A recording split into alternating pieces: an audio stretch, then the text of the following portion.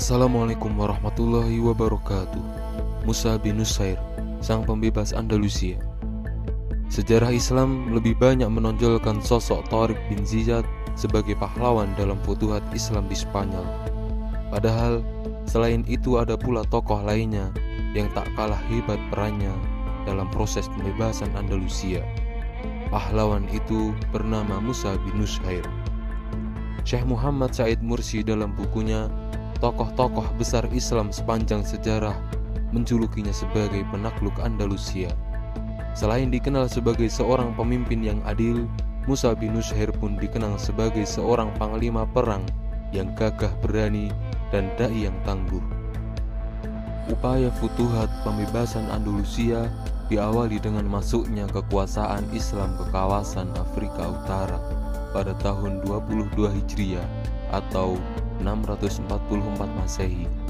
Di wilayah Afrika Utara itu tinggal bangsa Berber yang berakhir kekuasaannya pada tahun 85 atau 86 Hijriah 704 atau 705 Masehi di tangan Panglima Perang Musa bin Nushair. Dari sisi kecepatan operasi dan kadar keberhasilannya, ekspedisi ke Spanyol atau ke wilayah negeri semenanjung Iberia memiliki kedudukan unik dalam sejarah militer klasik. Pembebasan wilayah Andalusia tercatat sebagai salah satu penaklukan terhebat Muslim di Eropa. Sosok Musa bin Nushair Musa bin Nushair merupakan seorang panglima tangguh, bertakwa, dan warok. Ia termasuk golongan tabiin, meriwayatkan hadis dari beberapa orang sahabat. Musa terlahir pada sekitar tahun 19 Hijriah. Ia menghabiskan masa kecilnya di Damaskus, Suriah. Nama lengkapnya adalah Musa bin Nushair bin Abdurrahman bin Zaid al-Lahmi. Musa bin Nushair lahir dari bangsa Arab yang tinggal di perbatasan kerajaan Persia, Zoroaster, di sebelah barat sungai Eufrat.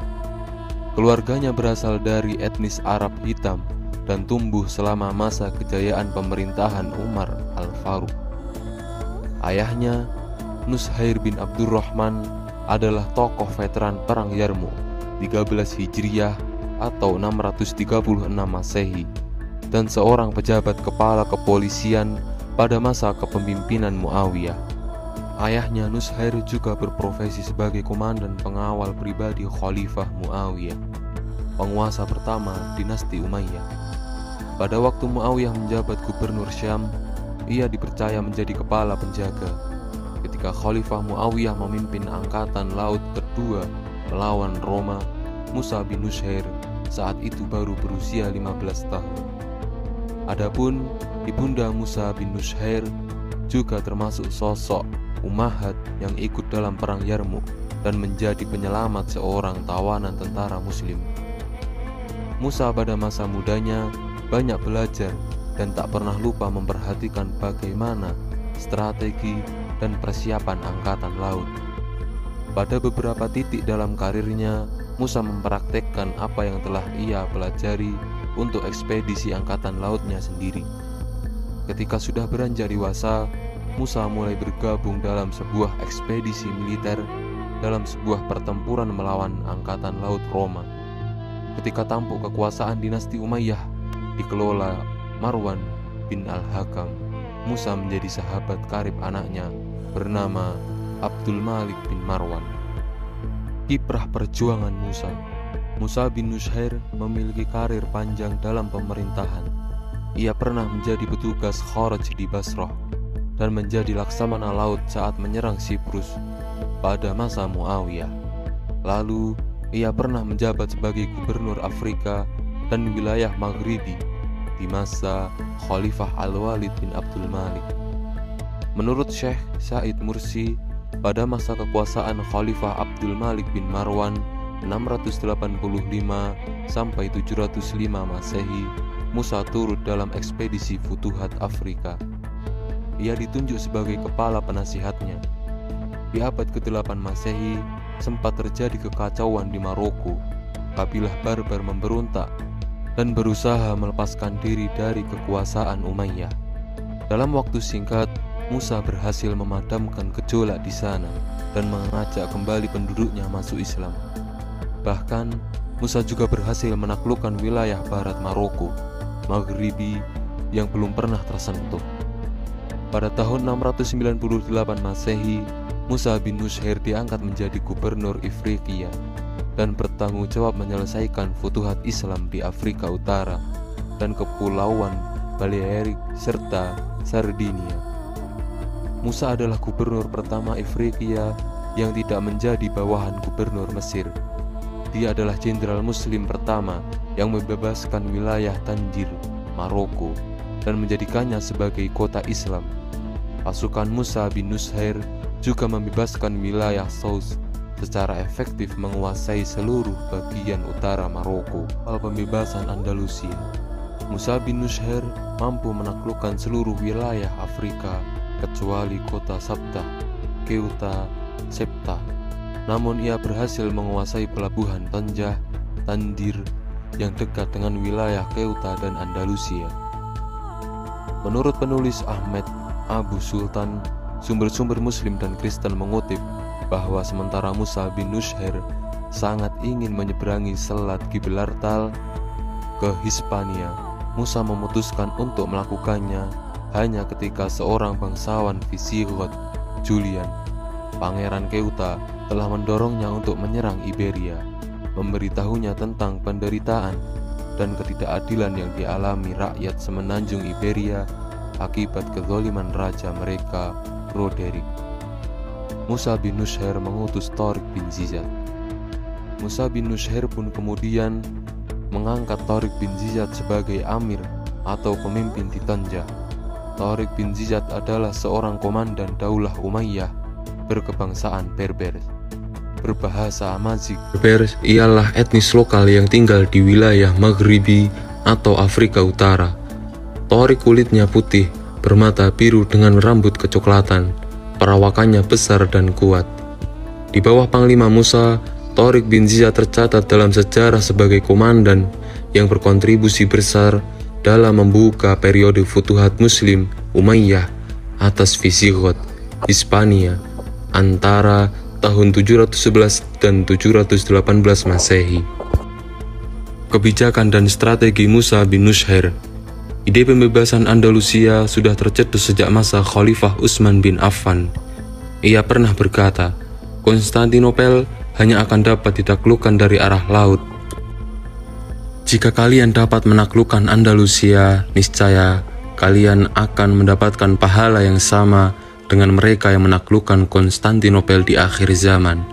Dalam Tarikh Al-Mu'ammam wal Muluk At-Tabari. Dilansir dari Risalah ID, setelah Islam kokoh di kawasan Afrika Utara, Musa bin Nushair mulai berpikir melakukan penaklukan Andalusia namun di hadapannya ada beberapa faktor penghambat. Belum diketahuinya kondisi geografis Andalusia, minimnya jumlah pasukan dan armada laut, sedangkan ada jarak yang harus ditempuh melalui lautan dari Maroko ke Andalusia sekitar 13 km. Di timur Andalusia terdapat kepulauan Balear, Mallorca, Manurraka, dan Ibiza tidak akan aman memasuki Andalusia sebelum menguasai kepulauan ini. Dalam rangka menanggulangi hambatan-hambatan penaklukan Andalusia itu, Musa bin Nushair melakukan langkah-langkah berikut. Membangun beberapa pelabuhan pada 87 Hijriah 706 Masehi, mengajarkan Islam kepada bangsa Amazik, Berber, dengan lebih intensif, mirip training atau daurah di masa kini hingga mereka bisa dilibatkan dalam perjuangan, mengangkat Torik bin Ziyad sebagai pemimpin pasukan, penaklukan Kepulauan Baliar. Pada 705 Masehi, Khalifah Walid bin Abdul Malik mengangkatnya sebagai gubernur Afrika bagian utara dan sekitarnya. Pada tahun yang sama, Musa berhasil menaklukkan Sicilia sebelah selatan Italia dan memperoleh kemenangan besar. Pasukan yang dipimpinnya meraih harta rampasan yang begitu banyak. Pulau tersebut tetap berada di bawah kendali umat Kristen. Musa hanya bermaksud menghukum mereka, bukan merebut wilayah mereka. Musa memiliki strategi yang sangat bijak, yaitu dengan membaurkan bangsa Arab dan Barbar. Ia melakukan hal tersebut agar bangsa Barbar merasa dihormati. Dengan kekuatan tersebut, Musa dapat memperluas wilayah kekuasaan ke seberang lautan, yaitu Andalusia. Dalam membuka wilayah tersebut, ia memberi kepercayaan kepada Torik bin Ziyad sebagai pemimpin pasukan penaklukan negeri semenanjung Iberia itu. Torik bin Ziyad berhasil membuka wilayah Spanyol dan membagi pasukannya menjadi empat kelompok. Ia menyebarkan pasukan tersebut ke Cordoba, Malaga, Granada, dan Toledo. Sedangkan Musa memimpin 10.000 pasukannya ke Spanyol dan bertemu dengan Torik di Toledo. Penaklukan Spanyol terus berjalan hingga ke Zaragoza, Aragon, Leon, Astoria, dan Galicia. Setelah kemenangan ini, berduyun-duyunlah orang-orang dari wilayah Maghrib dan Afrika ke Andalusia bergabung dengan pasukan Torik bin Ziyad. Torik bin Ziyad menuju Toledo ke kota Ecija, di mana pasukan Gotik berkumpul.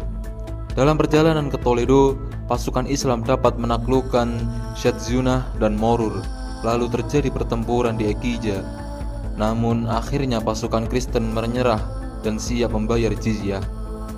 Dari Ekija, Torik bin Ziyad mengirimkan pasukan-pasukan kecil yang tidak lebih dari 700 orang untuk menaklukkan kota-kota bagian selatan lainnya hingga ke Toledo, ibu kota Andalusia saat itu.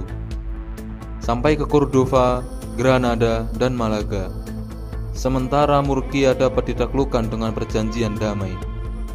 Musa bin Nushair mencegah Torik bin Ziyad melakukan penaklukan melewati kota Jain dan Toledo.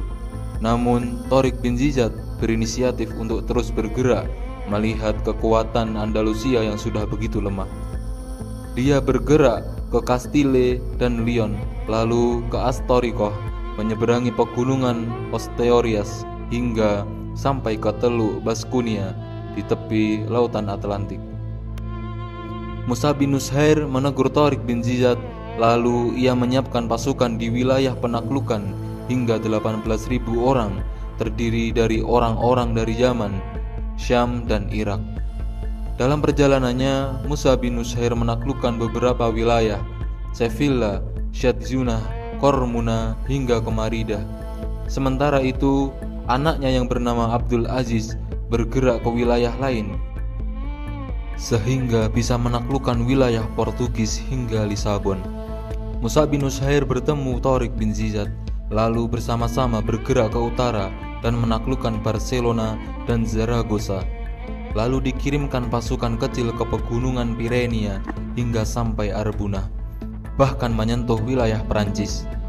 Seluruh wilayah Andalusia berhasil ditaklukkan kecuali kota Syakhrah di Selat Biscay.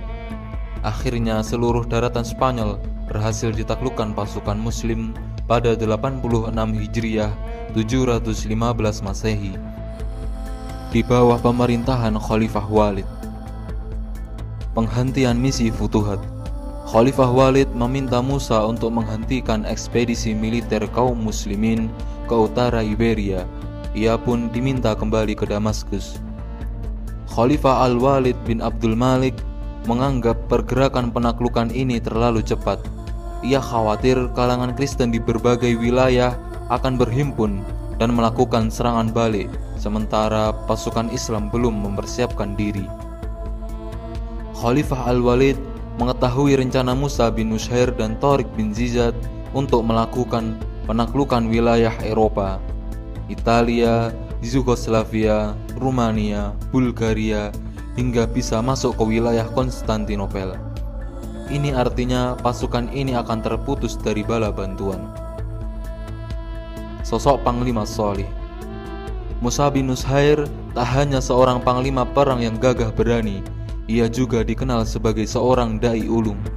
Berkat dakwahnya yang memukau, penduduk di Afrika Utara berbondong-bondong memeluk Islam.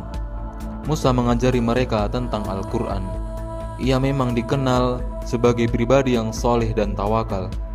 Musa juga turut meriwayatkan hadis dari Tamim bin Aus ad-Dari sekitar 93 Hijriah. ketika Afrika mengalami paceklik dan terjadi kekeringan, Musa bin Nushair memerintahkan kepada rakyatnya untuk berpuasa, sholat, dan memperbaiki hubungan dengan sesama. Setelah itu, ia memimpin sholat istisqa. Maka turunlah hujan deras sehingga penduduk di wilayah Maghribi terbebas dari bencana kekeringan. Setelah sholat, ia keluar menemui orang-orang dan memisahkan antara yang muslim dan non-muslim. Demikian pula antara induk binatang dan anaknya. Kemudian ia memerintahkan orang-orang meratap dan menangis, sementara ia berdoa kepada Allah hingga menjelang siang.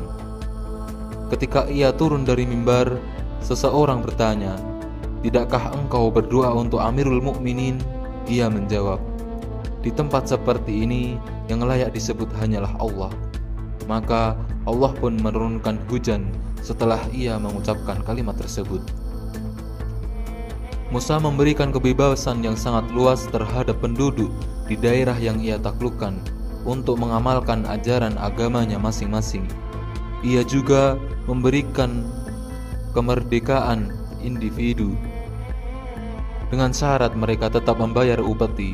Batas minimal upeti yang harus mereka bayarkan adalah makanan pokok. Musa juga membiarkan harta-harta tetap menjadi milik penduduk tersebut.